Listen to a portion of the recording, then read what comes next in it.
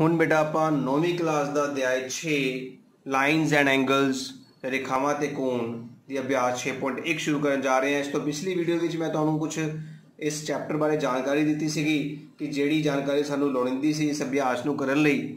ਤੇ ਜਿਹਨੇ ਮੇਰੀ ਪਿਛਲੀ ਵੀਡੀਓ ਨਹੀਂ ਦੇਖੀ ਹੈ ਤਾਂ ਜਰੂਰ ਇਸ ਅਭਿਆਸ, ਇਸ ਐਕਸਰਸਾਈਜ਼ ਨੂੰ ਕਰਨ ਤੋਂ ਪਹਿਲਾਂ ਮੇਰੀ ਉਸ ਵੀਡੀਓ ਨੂੰ ਜਰੂਰ ਦੇਖੇ ਤਾਂ ਕਿ ਇਸ ਐਕਸਰਸਾਈਜ਼ ਦੇ ਵਿੱਚ ਜਿਹੜੇ ਵੀ ਅਸੀਂ ਰੂਲ ਅਪਲਾਈ ਕਰਾਂਗੇ ਉਸ ਬਾਰੇ ਪਹਿਲਾਂ ਹੀ ਜਾਣੂ ਹੋ ਸਕੀਏ। ਹੁਣ ਧਿਆਨ ਨਾਲ ਦੇਖਿਓ ਕਿ 6.1 ਦਾ ਪਹਿਲਾ ਸਵਾਲ ਜਿਹੜਾ ਅਸੀਂ ਕਰਨ ਲੱਗੇ ਆ ਇਸ ਵਿੱਚ ਕੀ ਕਹਿ ਰਿਹਾ ਹੈ ਕਿ ਚਿੱਤਰ ਵਿੱਚ ਰੇਖਾਵਾਂ AB ਅਤੇ CD ਬਿੰਦੂ O ਤੇ ਕੱਟ ਰਹੀਆਂ ਹਨ। ਦੇਖੋ AB ਰੇਖਾ ਤੇ CD ਰੇਖਾ ਆ ਲਾਈਨ CD ਜਾ ਰਹੀ ਹੈ, ਜੋ O ਤੇ ਕੱਟ ਰਹੀ ਹੈ। AOC ਤੇ BOE 70 ਹੈ। ਧਿਆਨ ਨਾਲ ਦੇਖਣਾ ਹੈ ਬੇਟਾ AOC ਆ ਵਾਲਾ ਕੋਣ ਤੇ BOE ਇਹ ਵਾਲਾ ਕੋਣ 70 ਡਿਗਰੀ ਦਿੱਤਾ ਹੈ। ਦੋਨਾਂ ਦਾ ਜੋੜ। ਮੈਂ ਇਸ ਨੂੰ A ਨਾਮ ਦੇ ਦੇਣਾ ਹਾਂ ਤੇ ਇਸ ਨੂੰ B ਨਾਮ ਦੇ ਦੇਣਾ ਹਾਂ। ਇਹਦਾ ਮਤਲਬ ਸਾਨੂੰ ਕੀ ਦਿੱਤਾ ਗਿਆ ਹੈ? ਸਾਨੂੰ ਦਿੱਤਾ ਹੈ, ਸਭ ਤੋਂ ਪਹਿਲਾਂ ਤੁਸੀਂ ਦਿੱਤਾ ਹੈ ਲਿਖਣਾ ਹੈ, ਧਿਆਨ ਰੱਖਣਾ ਹੈ। ਦਿੱਤਾ ਹੈ ਦੇ ਵਿੱਚ ਕੀ ਲਿਖਦੇ ਆ ਆਪਾਂ? ਦਿੱਤਾ ਹੈ ਦੇ ਵਿੱਚ ਜੋ ਕੁਝ ਸਾਨੂੰ ਸਵਾਲ ਦੇ ਵਿੱਚ ਦਿੱਤਾ ਉਹ ਲਿਖ ਦਿਓ। ਜਿਵੇਂ ਕਿ AB ਅਤੇ CD ਉਹ ਬਿੰਦੂ ਤੇ ਕੱਟਦੀਆਂ ਹਨ। ਜੇ ਕੋਣ AOC ਜਮਾ ਕੋਣ BOE ਕਿਹਦੇ ਬਰਾਬਰ ਹੈ 70 ਡਿਗਰੀ ਦੇ ਹੋਰ ਕੀ ਦਿੱਤਾ ਸਾਨੂੰ ਕੋਣ BOD ਬਰਾਬਰ 40 ਡਿਗਰੀ ਦਿੱਤਾ ਹੈ ਹੁਣ ਕੀ ਕਰਨਾ ਆਪਾਂ ਪਤਾ ਕਰਨਾ ਹੈ ਪਤਾ ਕਰਨਾ ਹੈ ਯਾਦ ਰੱਖਿਓ ਇਹ ਚੀਜ਼ ਬਹੁਤ ਜ਼ਰੂਰੀ ਹੈ ਪਤਾ ਕੀ ਕਰਨਾ ਆਪਾਂ ਕੋਣ BOE ਫਿਰ ਕੀ ਪਤਾ ਕਰਨਾ ਅਸੀਂ ਰਿਫਲੈਕਸ ਕੋਣ? COE ਕਿਉਂਕਿ ਸਾਨੂੰ ਦਿੱਤਾ ਹੈ ਤੇ ਪਤਾ ਕਰਨਾ ਹੈ, ਲਿਖਣ ਦੇ ਵੀ ਬੇਟਾ ਨੰਬਰ ਮਿਲਦੇ ਹਨ ਐਗਜ਼ਾਮ ਦੇ ਵਿੱਚ। ਇਸ ਕਰਕੇ ਇਸ ਨੂੰ ਲਿਖਣਾ ਵੀ ਬਹੁਤ ਜ਼ਰੂਰੀ ਹੈ। ਹੁਣ ਆਪਾਂ ਇਸ ਦਿੱਤੇ ਹੈ ਨੂੰ ਤੇ ਡਾਇਗਰਾਮ ਨੂੰ ਦੇਖ ਕੇ ਆਪਣਾ ਸਵਾਲ ਹੱਲ ਕਰਾਂਗੇ। ਧਿਆਨ ਨਾਲ ਦੇਖਿਓ। ਸਭ ਤੋਂ ਪਹਿਲਾਂ ਹੱਲ ਸ਼ੁਰੂ ਕਰਾਂਗੇ। ਹੱਲ ਦੇ ਵਿੱਚ ਦਿੱਤਾ ਹੈ, ਦੁਬਾਰਾ ਲਿਖਣਾ ਹੈ। ਸਭ ਤੋਂ ਪਹਿਲਾਂ ਕੀ ਦਿੱਤਾ ਸਾਨੂੰ ਦੱਸੋ? ਕੋਣ AOC ਜਮਾ? ਕੋਣ BOE ਬਰਾਬਰ 70 ਡਿਗਰੀ ਹੈ? ਅਸੀਂ ਕੀ ਕਰਦੇ ਆ ਆਪਣੇ ਕੋਨਾਂ ਨੂੰ ਇਹਨੂੰ A ਮੰਨ ਲਿਆ, ਇਹਨੂੰ B ਮੰਨ ਲਿਆ, ਇਹਨੂੰ C ਮੰਨ ਲਿਆ, ਇਹਨੂੰ D ਮੰਨ ਲਿਆ ਤੇ ਇਸ ਕੋਣ ਨੂੰ ਅਸੀਂ E ਮੰਨ ਲਿਆ ਤਾਂ ਕਿ ਸਾਨੂੰ ਦੁਬਾਰਾ ਦੁਬਾਰਾ ਕੋਨਾਂ ਦੇ ਨਾਮ ਨਾ ਲਿਖਣੇ ਪੈਣ। ਅਸੀਂ ਕੋਨਾਂ ਨੂੰ ਕੋਈ ਨਾ ਕੋਈ ਨਾਮ ਦੇ ਸਕਦੇ ਹਾਂ, ਤੁਹਾਡੀ ਮਰਜ਼ੀ ਕੋਈ ਵੀ ਨਾਮ ਦੇ ਦਿੱਤੇ ਜਾ ਸਕਦੇ ਹਨ। ਹੁਣ AOC ਦੇਖੋ ਕਿੱਥੇ ਹੈ A ਤੇ ਹੱਥ ਰੱਖ ਕੇ O ਤੱਕ ਜਾਣਾ ਹੈ AO ਫਿਰ C ਤੱਕ ਜਾਣਾ ਹੈ। AOC ਕੋਣ ਦੇ ਵਿਚਕਾਰ ਕੋਣ ਆ ਰਿਹਾ ਹੈ, A ਕੋਣ ਆ ਰਿਹਾ ਹੈ। ਜਮਾ। BOE ਦੇਖੋ ਧਿਆਨ ਨਾਲ BOE ਕੋਣ ਕਿਹੜਾ ਹੈ? B ਕੋਣ ਹੈ? ਬਿਲਕੁਲ ਠੀਕ। ਕਿਹਦੇ ਬਰਾਬਰ ਹੋ ਗਿਆ ਬੇਟਾ ਇਹ? 70 ਡਿਗਰੀ ਦੇ ਨੰਬਰ 1 ਇਕੁਏਸ਼ਨ ਸਾਨੂੰ ਮਿਲ ਚੁੱਕੀ ਹੈ। ਹੁਣ ਅਗਲਾ ਦਿੱਤਾ ਹੈ, ਚੱਲਦੇ ਆ ਕੀ ਦਿੱਤਾ ਹੈ? ਕੋਣ?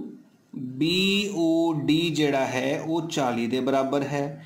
ਦੇਖਿਓ BOD ਕਿਹੜਾ ਹੈ? BOD ਮਤਲਬ D ਕੋਨ ਜਿਹੜਾ ਹੈ, ਸਾਡਾ 40 ਡਿਗਰੀ ਦੇ ਬਰਾਬਰ ਆ ਗਿਆ।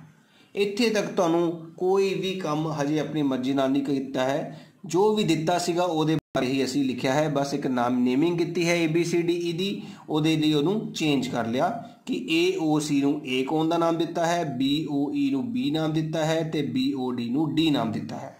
ਹੁਣ ਮੈਂ ਤੁਹਾਨੂੰ ਆਪਣੀ ਪਿਛਲੀ ਜਿਹੜੀ ਵੀਡੀਓ ਦੇ ਵਿੱਚ ਸਮਝਾਇਆ ਸੀਗਾ, ਉਸ ਤਰੀਕੇ ਨਾਲ ਚੱਲਦੇ ਹਾਂ।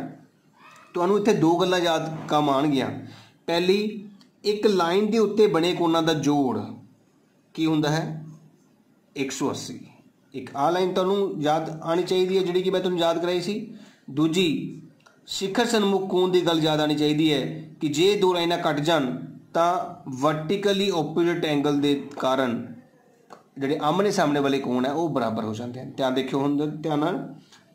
ਆਹ ਲਾਈਨ ਦੇਖ ਰਹੇ ਹੋ CD ਤੇ AB ਇੱਕ ਦੂਜੇ ਨੂੰ ਕੱਟ ਰਹੇ ਨੇ, ਠੀਕ ਹੈ? ਜੇ ਇਹ ਲਾਈਨਾਂ ਕੱਟ ਰਹੀਆਂ ਹਨ, ਤਾਂ ਵਾਲਾ ਕੋਣ ਧਿਆਨ ਨਾਲ ਦੇਖਣਾ ਹੈ, ਜਿਹੜਾ ਮੈਂ ਡਾਕ ਕਰ ਰਿਹਾ ਹੈ, ਤੇ ਆਹ ਵਾਲਾ ਕੋਣ ਆਮਨੇ ਸਾਹਮਣੇ ਵਾਲੇ ਕੋਣ ਕਹਿਲਾਣਗੇ।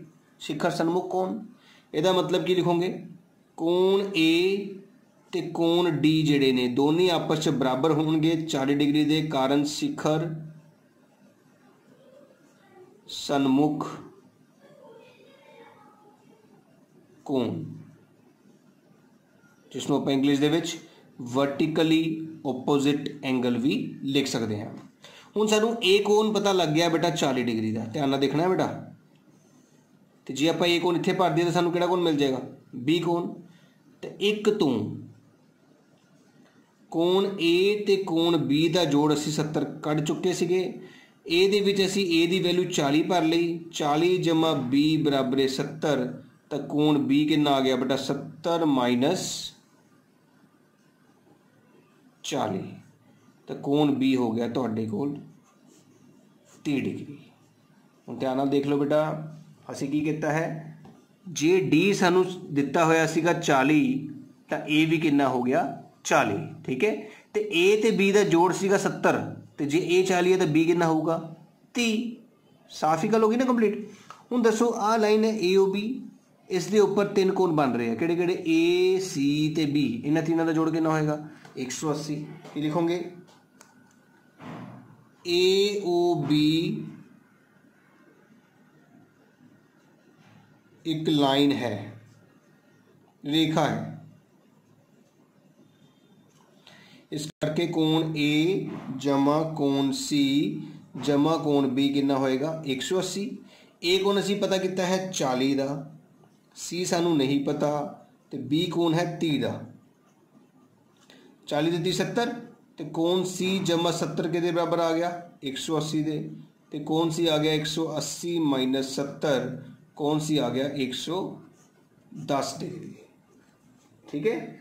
ਹੁਣ ਅਸੀਂ ਕੱਢਣਾ ਕੀ ਹੈ?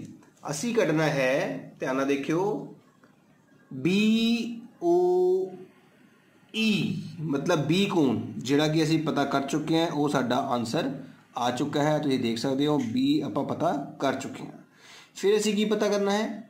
ਰਿਫਲੈਕਸ ਸੀ ਓ ਈ ਸੀ ਓ ਈ ਆ ਰਿਹਾ ਸੀ ਓ ਈ ਰਿਫਲੈਕਸ ਮਤਲਬ ਸੀ ਓ ਈ ਕੋਣ ਦਾ ਰਿਫਲੈਕਸ ਪਤਾ ਕਰਨ ਲਈ ਮੈਂ ਤੁਹਾਨੂੰ ਦੱਸਿਆ ਸੀਗਾ, ਕਿਸੇ ਵੀ ਕੋਣ ਦਾ ਰਿਫਲੈਕਸ ਪਤਾ ਕਰਨਾ ਹੋਵੇ ਤਾਂ ਉਸ ਕੋਣ ਨੂੰ 360 ਚੋਂ ਘਟਾਉਣਾ ਪੈਂਦਾ ਹੈ। ਤੇ COE ਕੋਣ ਦਾ ਨਾਮ ਮੈਂ ਦਿੱਤਾ ਹੈ ਸੀ ਇਹਦਾ ਮਤਲਬ ਕੀ ਲਿਖਾਂਗੇ ਆਪਾਂ ਹੁਣ?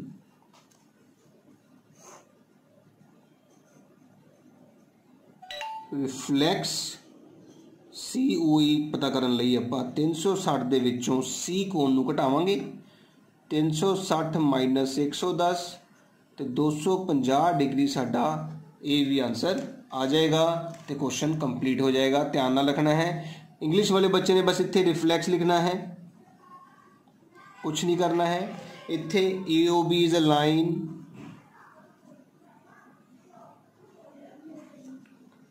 ਠੀਕ ਹੈ ਨਾ? ਤੇ ਬਾਕੀ ਸਾਰਾ ਅਸੀਂ ਲਿਖ ਚੁੱਕੇ ਹਾਂ। ਇੱਥੇ ਗਿਵਨ ਤੇ ਇੱਥੇ ਟੂ ਫਾਈਂਡ ਧਿਆਨ ਨਾਲ ਦੇਖ ਲਓ, ਦੁਬਾਰਾ ਇੱਕ ਵਾਰੀ ਸਮਝਾਉਣ ਲੱਗਾ ਹਾਂ। ਡੀ ਕੋਣ ਤੁਹਾਨੂੰ 40 ਦਿੱਤਾ ਸੀਗਾ।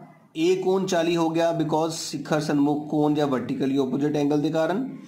ਏ ਤੇ ਬੀ ਦਾ ਜੋੜ 70 ਸੀਗਾ।